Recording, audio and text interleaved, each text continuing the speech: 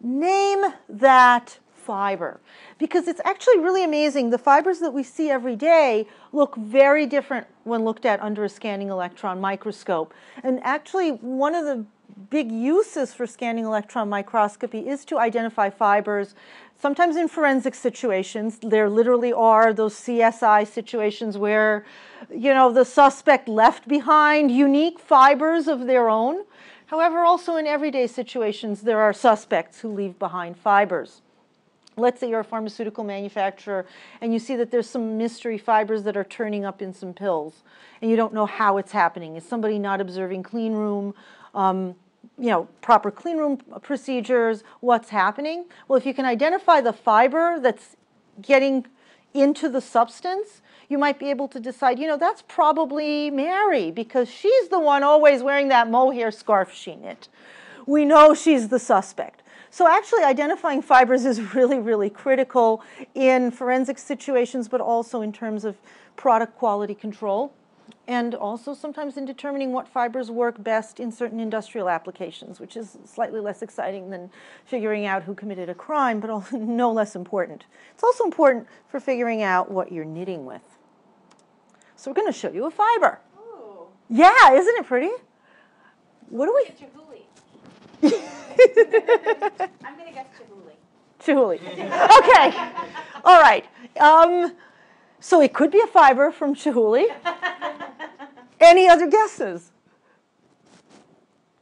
I can hint. It's a blend. There's a natural in it. Uh, silk with, no.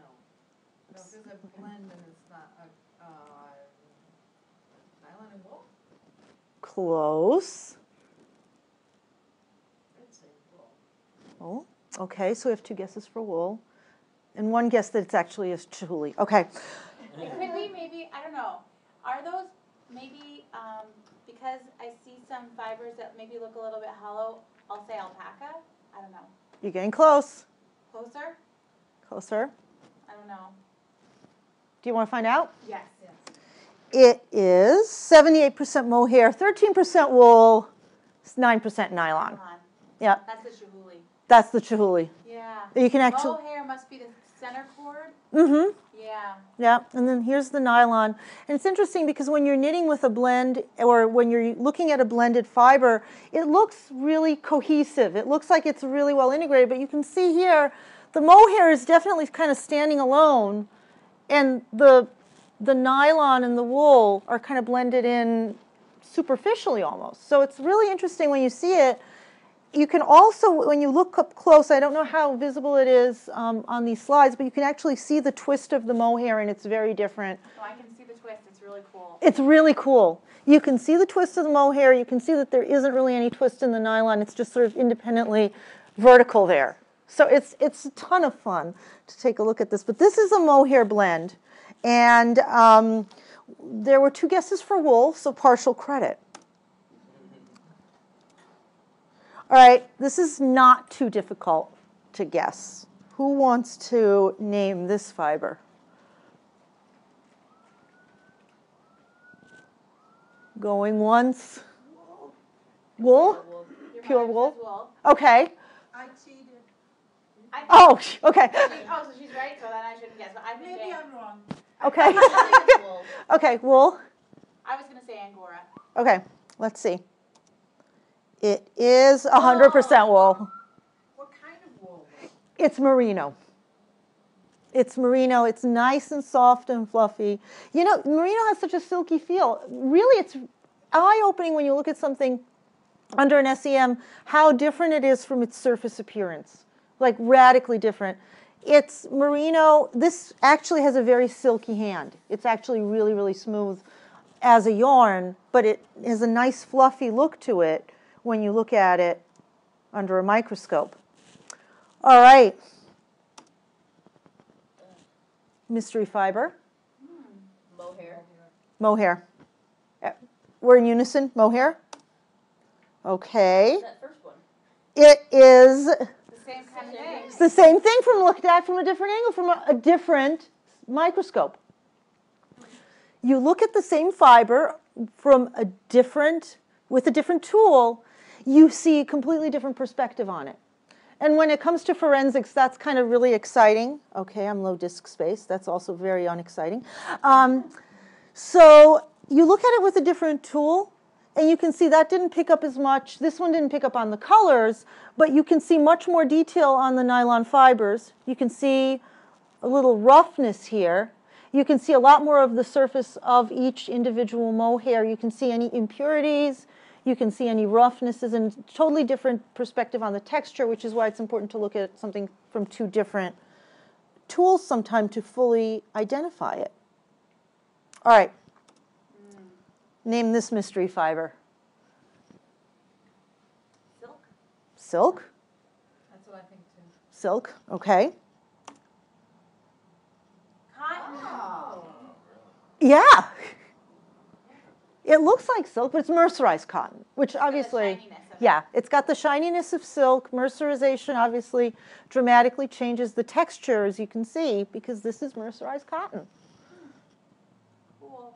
Very cool. I want to see it. I'm Okay.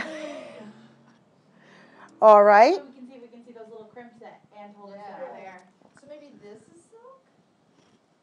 It could be. Looks equally not, But it looks like that merino that we saw before with, um, the white merino, doesn't it Oh, look like that with very like the shininess of the things? But I don't know.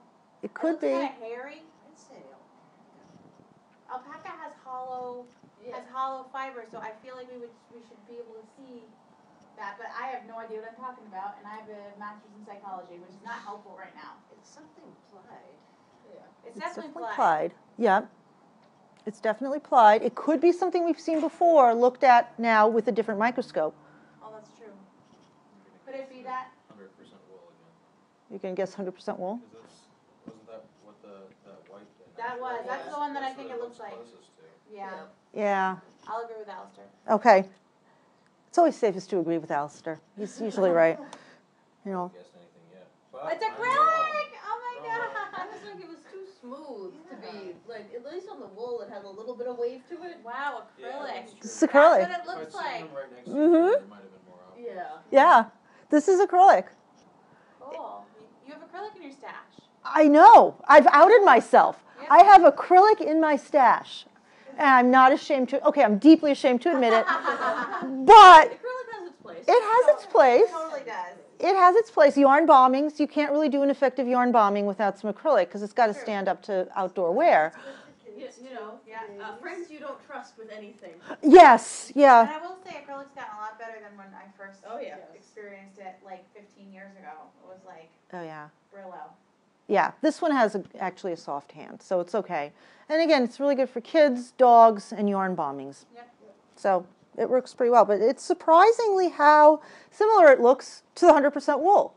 It So- did, it did look so, it tricked us. Yep. Yeah, and the nice thing is it actually, it feels different, but it looks the same under magnification, which is actually really interesting. All right. Again, this could be a new fiber. This could be a fiber we've already seen. Yeah, I think Mohair. Really tangled. It's really tangled. So that means it's gonna be fuzzy Yeah. when it knits Mhm. up, right? Mhm. Or Angora or one of those. So Angora or mohair. All right. Is it that? Actually, wouldn't mohair be even fuzzier? Well, I don't know. We're looking in at not a lot of. Not a huge. I don't think it's cotton or acrylic. Okay. Those are out. Yeah, yeah, those are out. Yeah. Not It could cotton. possibly be wool. I mean, Okay. I wonder if it's. I don't think it's alpaca. I don't know. Uh, Okay. I can't wait to find out though. Okay. So we will find out. It is wool. Wool. 100% wool. A nice fuzzy wool, but 100% wool. All right, now this, aside from looking like the flying spaghetti monster, um, what could it possibly be? Is that just one single It looks like piece it. of yarn? Like it's just one single fiber? Uh huh. Wow. Yeah, it looks like a single. Yeah. Is that we're gonna keep going mohair until it's mohair, right? Yeah.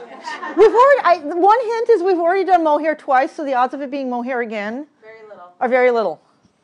It's got to be something super fuzzy. Mm-hmm. It looks like it's, it's a mix of fibers. Mm-hmm. And also Okay. it's barely, barely ones and then spun, the- so it looks like a, the an the unspun fiber. It's one fiber. That's No, like roving of some kind. Not That's what I roving, was but, thinking. but, you know, not quite that unspun, but it just doesn't apply. plied, not Yeah. really. It's not plied. Hand spun, it's a hand spun. Hand spun Christina, are you a spinner?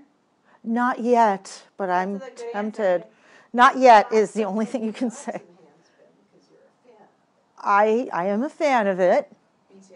but that doesn't mean this is hand spun. Or you bought some roving with the intention of spinning. Do you want to know what it is? Yeah. Acrylic Nylon. and nylon blend. Wow. Wow. That is wild. Yes, Do you know what kind of yarn that was? Like, do you know the brand? it was a lion brand. It was like the bo- Oh, oh, like, uh, uh, uh, yeah, fisherman's, no, that's fisherman's wool. fisherman's wool. That's actually wool. Uh, It was Like homespun? it was kind of like a homespun boucle. Oh, it was boucle? Oh, you got you tricked us on a Oh, boucle. Well, it wasn't really a boucle. It was like one of those fluffy-ish, Yeah, airy, more air than fiber yarns. So yeah, which is why it looks sort of unspun. it looks sort of unspun. Wow. Okay, this is a tough one. It gets harder and harder. It's a pretty color, different microscope. Yeah, you have to factor out the color. Factor out the color. Yeah, Yeah. completely factor out the color. This is a real mystery fiber. Have we had it before? I can't say. Hmm. I'm gonna say acrylic wool blend. Okay. Any any other guesses? All right. I was close. Yeah. Partial Yeah. credit? Partial credit The, the, the thing. Yeah, it's actually much more obvious on this one than the Yeah. previous one. I have a lot of the color Well, She doesn't get a lot of yarn bombing. Bombing. I actually am participating in a yarn bombing, which is why some of these were at the top of my stash. I can't say anything more about it right now, Okay. but when it happens, it's going to be epic. Wow. So that's why I had a lot of crummy yarns that I took snips of.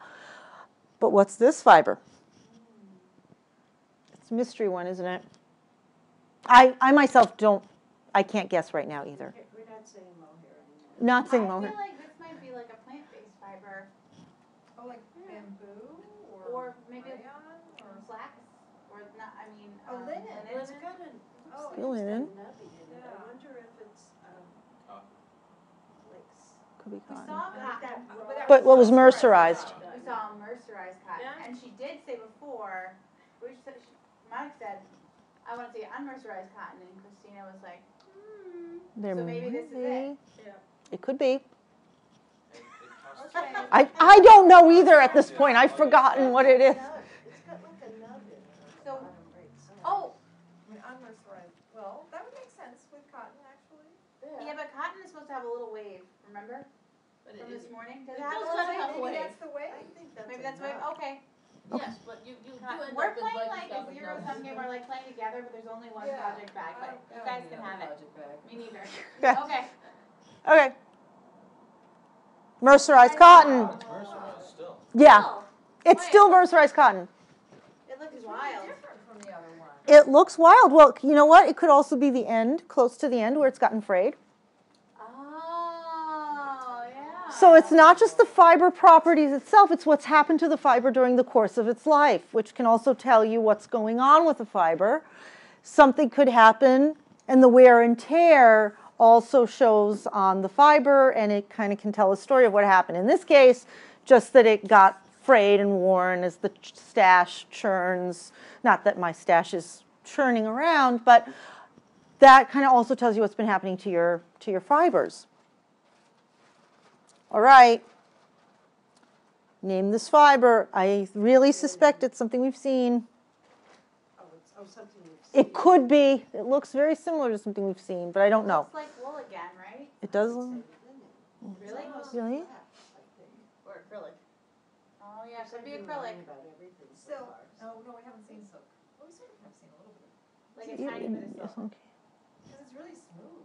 It's very smooth. Yeah, which is Yeah. why I I can think see a it's nice not, twist that's why I think it's fake.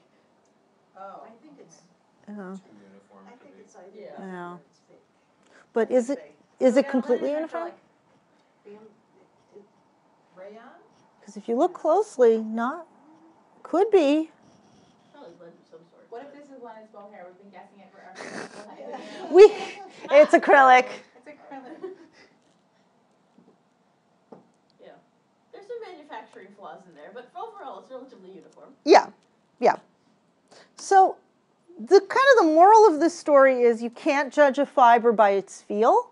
You can't judge a fiber by what your experience is necessarily with that same fiber from a different manufacturer because they can all look different. They can also start to look different based on the wear that they've had, the treatments that they've had, or the life that they've lived, basically. So it can f- frayed in your bag. It could have had anything happen to it in the course of its life. Um, it can also simply have been manufactured differently from one manufacturer to the other. So if you look at an acrylic from one manufacturer, and it's not even coming down to like the cost. Sometimes you'll have like a really theoretically nice acrylic from a mid-level manufacturer or just a terrible acrylic from a slightly more expensive manufacturer. But the way these things look under microscopy, was it surprising? Yeah. Mm-hmm. Was it? We still haven't seen silk. We had mohair twice. We and nobody guessed it was mohair, and other things looked like they should be mohair. They were fluffier, or they were things were smoother than you imagined that they should be. So when you look at the microscopic world of fiber, you know, in our day-to-day lives, maybe it doesn't impact us that much, but it sort of tells you that you can't always judge a fiber just by its feel or by its look. So keeping an open mind, I still say save acrylics for yarn bombing is the best, and as well dogs and children. Um, but at the same time, we've seen rough acrylics, we've seen really smooth cottons, so you never know.